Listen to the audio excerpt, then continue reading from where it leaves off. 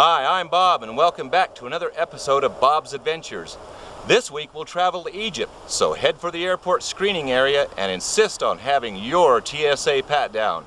We'll see you on board. Hi, I'm Dr. Sheikh Abdullah from Cairo's Museum Antiquities. Ancient Egyptians were skilled masters in mathematics, science, astronomy, art, and logistics. In Egypt, Adventure Bob is a national icon. In a small cave, he discovered an ancient papyrus that answers the question of how the Egyptians transported stone and rock many miles and built the Great Pyramids at Giza. Come, let me share this papyrus with you and the entire world. Only the funnest for Egypt.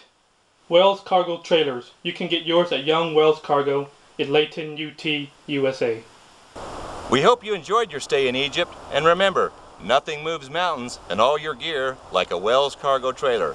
I'm Bob, and we'll see you next week on Bob's Adventures.